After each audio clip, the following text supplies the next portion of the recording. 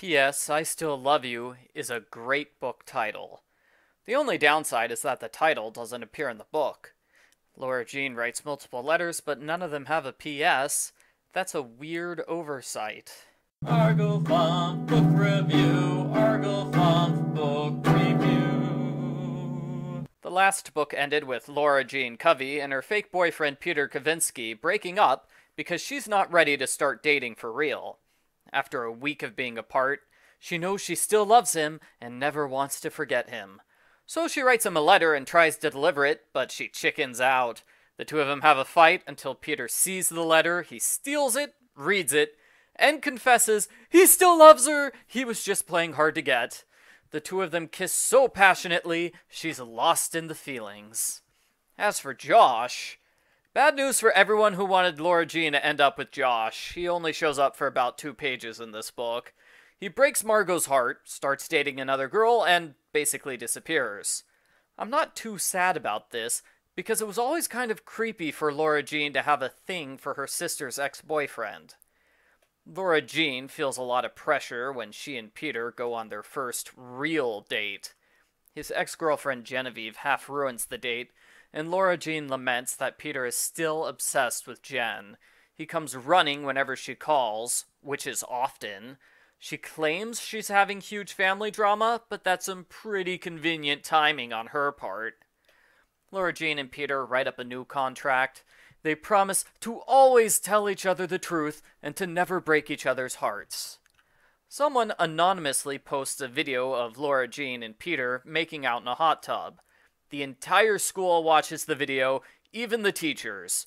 Pretty much everyone assumes they're having sex. Lara Jean is horrified.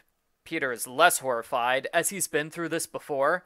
Someone once posted a naked picture of him with his head in a toilet. Uh, what? Why was it? You know what? I don't want to know. I don't want to know. Peter gets the video taken down, but that doesn't stop things.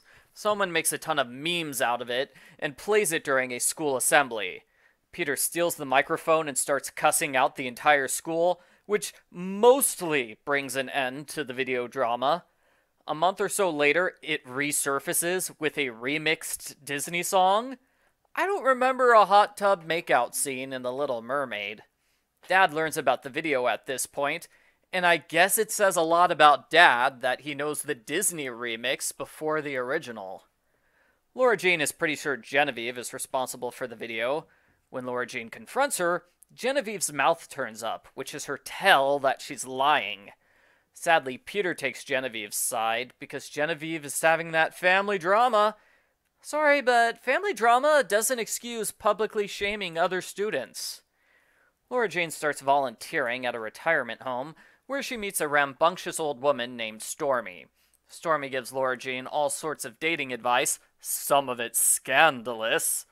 Lara Jean decides she kind of likes the older style of dating a lot of guys at once. The casualness of it all helps prevent against heartbreak.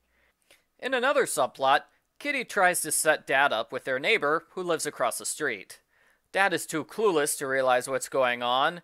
I'm guessing he's too busy watching Disney Plus to worry about his love life. Lara Jean talks with the neighbor and Dad separately. He agrees to take her out for coffee. On Valentine's Day, Peter gives Lara Jean a fancy necklace and a plagiarized love poem. About halfway through the book, Lara Jean gets a letter from John Ambrose McLaren, one of the boys she loved before. He was her middle school crush. She still remembers her and likes her, and they become good pen pals.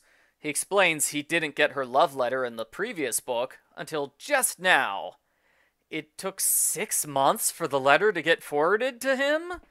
And I thought my mail system was slow. Lara Jean's neighbor was Carolyn Pierce. This caught me by surprise because Carolyn Pierce, spelled the exact same way, is a neighbor character from Sweet Valley High. Just like Lara Jean, Carolyn wrote love letters, which resulted in a guy pretending to be her boyfriend, which eventually led to a real relationship.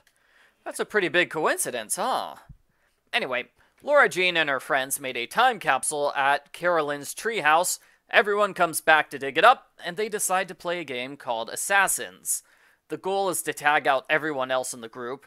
Whoever wins gets to have their wish come true.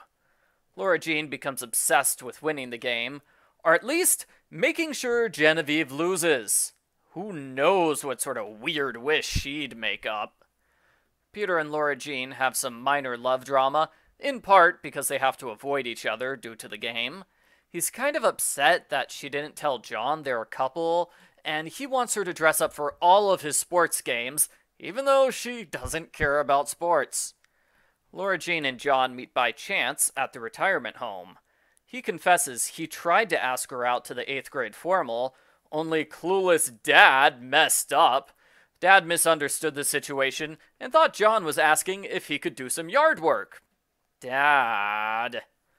A freak snowstorm traps them at the retirement home together, and they have fun playing in the snow. Lara Jean plans to meet Peter at one of his games, but he doesn't show up.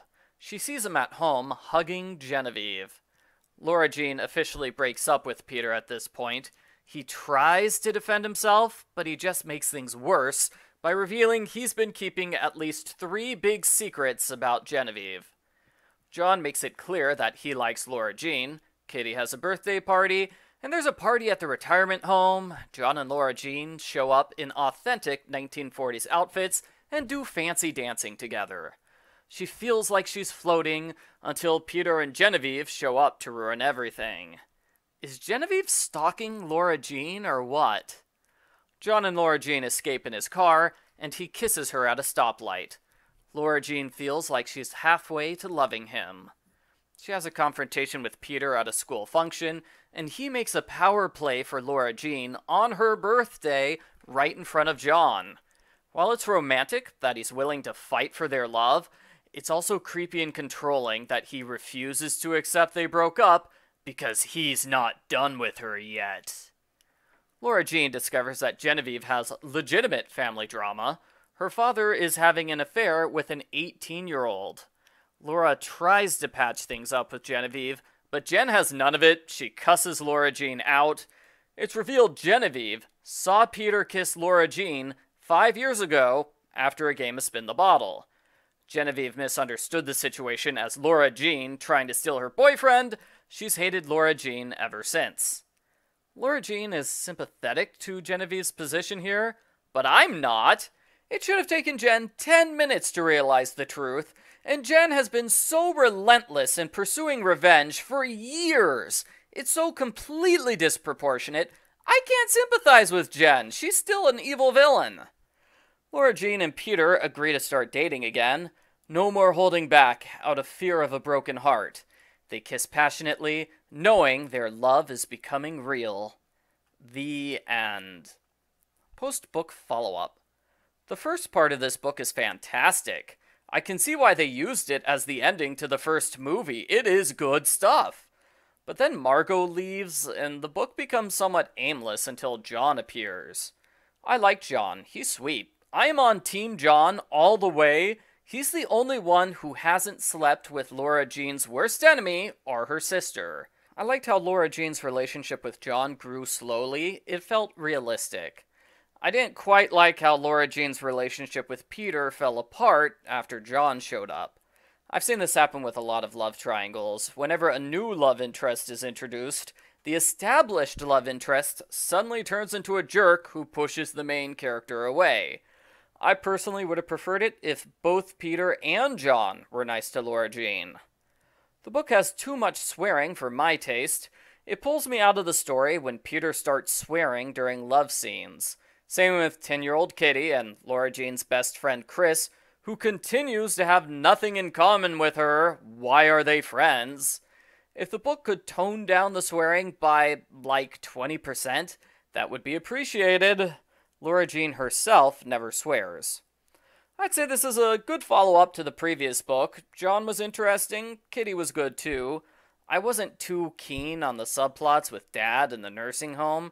They work fine, I just wasn't that interested in them.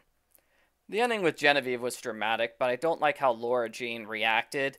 Yes, Jen is having a hard time right now. She still tried to steal your boyfriend and ruin your life with a dirty video repeatedly. That is not a forgive and forget situation. I give PS I still love you. A 7 out of 10.